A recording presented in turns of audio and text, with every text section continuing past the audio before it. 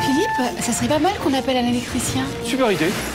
Pour prévenir les incidents, AXA met à votre service des professionnels de confiance sur metravaux.axa.fr. Avec un acteur de la prévention à vos côtés, vous êtes entre de bonnes mains.